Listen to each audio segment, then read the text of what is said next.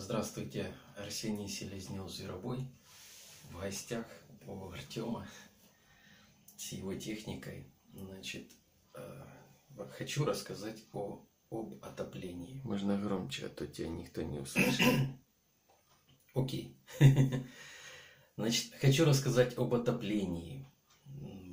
Мой опыт. Там, в доме, который я приобрел, было водяное отопление через регистры, так называемые регистры. Там стоял угольно-деревянный котел, переделанный под газ. Мне эта система была немножко знакома, так как я видел такую работу, но все-таки мне захотелось побольше комфорта. И вам я тоже желаю побольше комфорта, а это теплые полы. Можно было, конечно, поставить радиаторы, батареи так называемые, в комнатах, но по всему периметру дома стояли э, э, так называемые регистры. Это толстая труба, где-то 70 сантиметров в диаметре, приблизительно вот такая вот. Даже пальцы не смыкаются. Идет под подоконником и в самом низу, вдоль пола. Это называется нижнее расположение. Я очень долго думал, как, как это все дело увязать, подключить, так как не было, не было никаких, никакой практики с этим делом, никакой э, теории, и мне надо было, чтобы оно работало даже в выключенном состоянии от электричества. Этот газовый котел старый, 86 года выпуска, и он, ему электричество вообще не нужно. То есть он работал на гравитационной основе. Это значит, что как самого... Как гравицапа. Гравицапа, да, спичку поджег и все. Газ загорелся и достаточно. Значит, снизу поднимается по трубе горячая вода, она давит вверх и подтягивает снизу э, от кольца, там два кольца было, слева и справа, и оно подтягивает вниз к нагреваемой рубашке, так называемой. Поэтому я решил брать не стандартно. Я изучал всякие системы теплых полов. В общем, там все берется с холодной воды, потом добавляется, не, берется с горячей, потом добавляется туда холодной и разводится по... Ну, это все, я считаю, это все как-то, пум, маразм, бабушкин маразм, как говорил один э, знакомый мне водопроводчик. И действительно, зачем брать горячую воду, потом брать холодную воду, узел э, подмеса делать, э, там или трехходовой кран, или трехходовой клапан, или более сложная система, потом разводить это все по комнатам. Я поступил иначе. Я начал в котле нагревать ровно столько, ну, сколько получается, вернее, я стал экономить очень сильно. И чем меньше дельта от холодного до горячего, тем меньше надо нагревать. Так как газ у нас не халявный, ну, хотя можно сказать почти не халявный, так как нам дают некое... э, В прошлом году нам давали лимит субсидии две с половиной тысячи кубов. Это не очень много. Я бы сказал, это даже маловато, но в принципе э, у нас еще получилась некоторая экономия. Э, За счет того, что я делал не горячую воду, не грел до 70 градусов, а потом с, э, перемешивал с холодной, подмес, делал подмес холодной воды и э, нагревал пол до 23 градусов. Нет, я сразу делал в котле минимально возможную температуру, потом отбирал максимально высокой точке, там где чуть-чуть ниже максимально высокой, чтобы не завоздушивалось. Кстати, я пью кофе, если что. А не коньяк. Показать не могу, вывернуть не получается. А, ладно, давай сейчас покажем, что там. Ну, давай покажем. Странный кофе Видно? какой-то непонятный. Ну, это с, с молоком, но не коровьим, а сгущенным. Козлиным. Непонятно.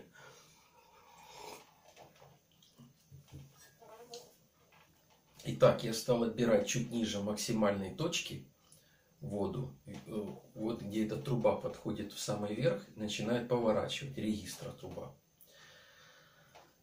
С этого места, где поворот, я высверлил аккуратно отверстие и сделал вертикальный выход, потом под 90 градусов. Ну, немножко неправильно, надо было более плавно как-то сделать.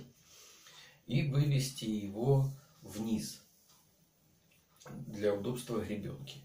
Затем поставил трехходовой кран, но не клапан, кран. И, возможно, даже его можно и не ставить, в принципе. Но он мне потом пригодился в этом году. Так, Артем уже засыпает. И насос. Насос обязателен в данном случае, так как у меня все диаметры были 16 Э, Все трубы, металлопласт, который я за- заводил в теплый пол, были 16 Если бы я разводил двадцаткой, допустим, или использовал м, пластиковые трубы, пай- пайка или клейка, то было бы немножко по-другому. Там можно было бы использовать больше диаметр и отказаться вообще от э, насоса. Но насос нужен для того, чтобы быстро прокачивать воду, чтобы э, не было слишком большого расслоения горячей и холодной. Это немножко экономит по газу.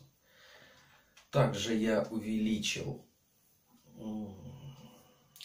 э, так называемый фитиль или запальник. У нас называют запальник, некоторые называют фитиль. В общем, разницы нет. Все, что горит, вначале э, маленький, маленькое пламя, которое поджигает остальное, остальные горелки, то вот эту штуку я увеличил. Просверлил больше для газа и больше для воздуха. Немножко там надо переделать. Я все никак не переделаю, чтобы была защита от затухания. Дополнительная. Так он абсолютно он не тухнет, а он притухает, когда сильный ветер, только там в некоторых местах. Если будет все это будет интересно, если будете много задавать вопросов по конкретным вещам, я конкретно объясню и, естественно, сниму видео по месту. Так что это обобщающее такое видео, может кому, кого заинтересует. Эта вся система, которую я сделал, работает уже, я бы сказал, шестой или седьмой год. Так что меня, в принципе, все устраивает. Несколько раз у нас было, два раза зимой выключалось электричество. Один раз какой-то ремонт был, я уже не помню какой. А второй раз в 2018 году, 18-19 января, у нас отключилось на неделю. Теплый пол работал не на 100%, где-то процентов на 25-35 приблизительно. Я точно не могу рассчитать, так как не было чем измерить. И вообще я не очень люблю считать. Вот мне говорят, вот чем твой экономичный? Я не знаю, чем экономичный, но мне кажется, что э, по сравнению у меня стоит советский котел. Тот, который жрет вообще немерено. Ему сколько ни дай, ему все мало. Я считаю, что э, такую систему можно дорабатывать и дорабатывать. То есть и внутрь можно поставить дополнительную рубашку, как это и сделал я. Отдельно э, с этой рубашки у меня идет на нагрев горячей воды. Это сделал не в первый год, а где-то на третий год после того, как начала работать. Эта рубашка была экспериментальная, поэтому я не знал точно, как, как что делать. Я приблизительно сделал так. Ну и результат дало? Результат дало, да. Вода горячая у меня идет отдельно. Можно нагревать. Вот э, вчера у меня было 48 градусов в э, баке отопления. Я включил на минимум О, котел на самый минимум. То есть это как, что такое у меня самый минимум? Это значит э, работает запальник и дополнительно работает э, горелка. Она у меня одна работает из трех. Было три горелки, две заглушил боковые, и осталась у меня одна. Одна горелка, центральная. Ее я заглушил почти наполовину. Но я думаю, надо заглушить наполовину, и тогда будет вообще все шикарно. Что такое? Устал? Мгм. Отдохни.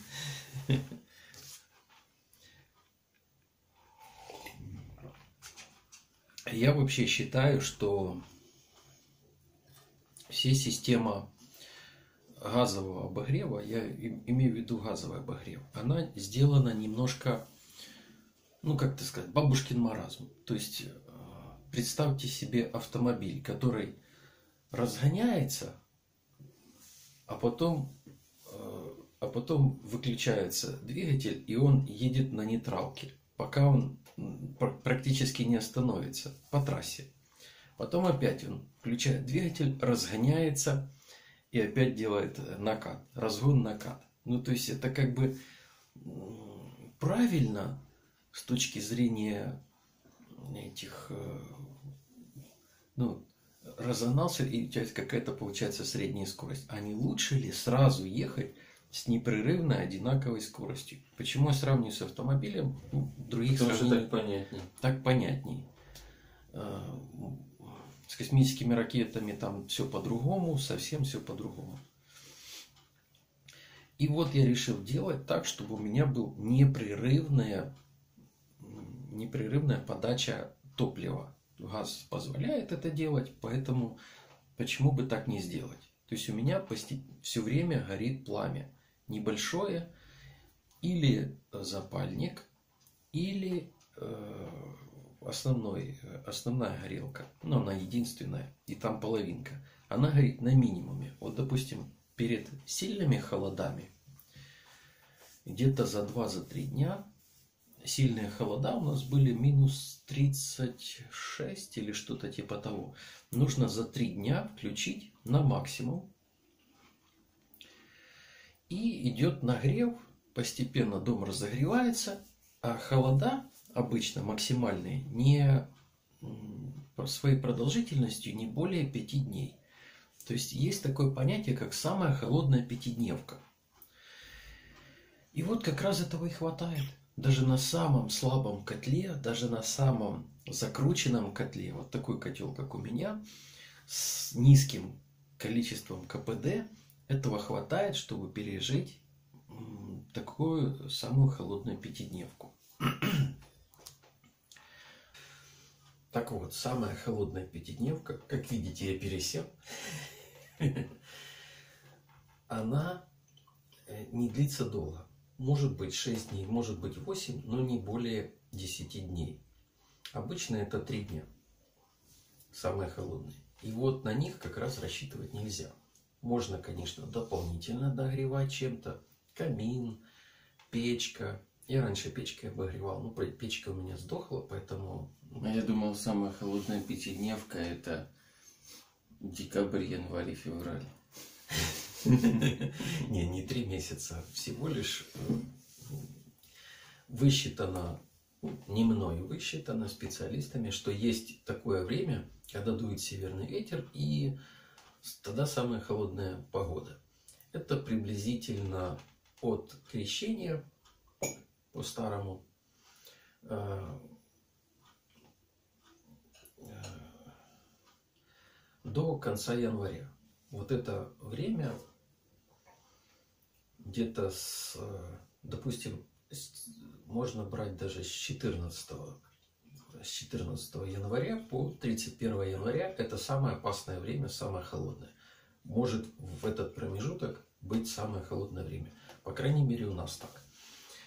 Может быть где-то по-другому, но я думаю, что приблизительно у всех стран, э, во всех, э, во всем северном полушарии где-то так происходит. Поэтому я считаю, что очень мощный котел особого смысла нет брать. Если у вас есть деньги, вы можете взять два котла, как это э, предлагает фирма Горение, итальянская фирма. Они предлагают для экономии брать два или три котла. Оптимально, говорят, три котла с- по экономии. Это то, что я почитал, и документацию.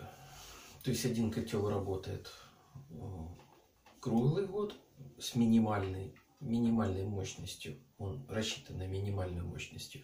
Затем в, в помощь в среднее время, э, допустим, межсезонье, это работает второй котел. И в самую холодную пятидневку э, помогает это, этим двум котлам третий котел. Ну или в морозы, когда там у вас морозы. Я считаю, что практически можно отказаться от этих дел. Конечно, три котла это, это классная вещь. Ну, у меня такое финансовое состояние, что я себе не могу такое позволить. Три котла. Я просто переделал тот котел. И вот эта вставка в середину, в, я назвал его вкладыш в тот котел, который есть. Универсальный. Она очень сильно помогает донагревать горячую воду. И если ее доделать немножко, там еще можно донагревать над, э, над, той, э, над той рубашкой, которая непосредственно над огнем. Можно еще сверху делать рубашку. Но там вариантов куча. Плюс еще дымовые газы охлаждать дополнительно. Это все это можно несколько раз повысить производительность. Единственная неприятная вещь это конденсат. У меня стоит кирпичная труба, и в ней конденсат стекает по стенкам, так как при горении газа образуется Вода и углекислый газ. Вода, в основном углекислый газ, ну и немножко там всяких веществ. Э, по минимуму. Кислоты в основном какая там уксусная или какая-то кислота, э, то ли муравьиная, ну, в общем, какие-то кислоты, и оно немножко окисляет, немножко разрушает глину. Поэтому э, желательно делать сразу дымоход из нержавеющей э, вот этой кислотостойкой трубы. Трубы ставить такие. Конечно, их дополнительно там... Коррозионно-стойкая сталь. Да, коррозионно-стойкая сталь, она специально для дымоходов. Она уже там все нормально в ней. Я смотрел несколько лет, в принципе, коррозии не видно. Вещь хорошая, рекомендую. Или переделывать, или уже дополнять, когда вы будете делать. Э, что еще? Теплый пол. Чем хорош теплый пол? Почему не батареи? Почему не регистры? Почему не паровое отопление? Ну, паровое отопление отказались уже давно. Э, потому что пар, во-первых, очень опасен. Он может э, чуть ли не до взрыва довести. Если он скопится, где-то там какая-то паровая пробка произойдет, может так бабахнуть, что мало не покажется. Потом... Гидроудары от пара это такая штука, как будто кувалдой кто-то бьет по трубам и не может остановиться. Да, вещь очень такая неприятная. Ну тепло. О, конечно, тепло. Аж жарко, аж занавески подгорают. Я еще слышал такую историю. Это за... А еще ожоги такие, что аж гангрена бывает. Да, да, да, да, да. Насчет гангрены, значит, расскажу историю. Это человек человека привезли в больницу, и почему-то он там то ли рукой дотронулся, то ли что, до радиатора. Ну, это паровое отопление и радиаторное одновременно. Если у вас маленькие дети или пожилые возраста есть э, лица, так, за которыми вы наблюдаете. Со мной в палате был такой вот. мужик, э, так ему две ноги отрезали. Он коснулся... Когда, когда спал, да, коснулся пальцами ноги пошла гангрена, и, естественно, у нас такая медицина, что мы никак помочь не смогли, и отрезали ноги обе. Да, в общем, радиатор это довольно опасная штука. В детстве у меня была, был такой плохой опыт, скажем так, печного отопления. У нас была газовая форсунка в доме, и а что такое газовая форсунка? Это обычная печь, или как называют еще грубо, грубая, такая узенькая печь, специально построенная под сжигание газа. То есть там минимум всего нагревали стены, и от этих стен излучением нагревалось все остальное. То есть от центра квартиры расходилось в разные стороны. Естественно, это внешние стены, они были самыми холодными. Нельзя было ставить э, всевозможные э, шкаф, допустим, нельзя было ставить в упор, надо было хотя бы 10 сантиметров от стены, потому что там образовался грибок. И если занавески были на окнах, шторы, обязательно окна закрывались шторами, потому что холод был очень сильный. Кроме того, что щели, еще через стекло дополнительно проходил холод. И в детстве мне было очень неприятно, когда я захожу под, э, раздвигаю шторы, захожу туда, смотрю и чувствую, как э, из меня тепло уходит через стекло. Даже все было заклеено двойным э, бумагой, этой раньше заклеивали газетной бумагой, и специально была еще бумага для лента, так называемая, для окон продавалась. Ну это вообще супер технологии. Вот. А когда я закрывался шторой от э, печки, то чувствовал, как моментально остываю и замерзаю. Также в детстве я ходил, у меня были колготы, ну тогда мода такая была и э, сверху теплые носки шерстяные, а поверх них тапочки, э, я не помню, как они назывались, с начесом. Там двойные, снаружи были, по-моему, синие, а внутри белые. Ну, то есть там еще двойная ткань была. И подошва. И мне в них было холодно. Вот я это запомнил на всю жизнь. Кроме того, двери, когда открывались, входные, у нас такой первый этаж, подполье было, и щели э, в полу. Ну, так как э, дерево, оно не смыкается полностью, а когда ссыхается, оно немножко расходится. Поэтому там образовали щели. И вот холодный воздух прямо поднимался в этот момент. Ну, там двигался, там холодный воздух туда-сюда двигался. И он прямо как волной проходил мимо меня. И я все через все эти э, колготы э, хбшные, потом носки шерстяные, и через эти тапочки я чувствовал этот холод, ледяной холод. Не знаю, как там дети в Скандинавии живут, но мне было очень неприятно. И я, поэтому я предлагаю вам делать теплые полы, Э, водяные, электрические или еще какие-то типа э, дымом, которые обогреваются. Потому что это не только комфорт, а это еще и здоровье. С вами был Арсений Селезнев Зверобой. Подписывайтесь на канал, смотрите обновления. Пока!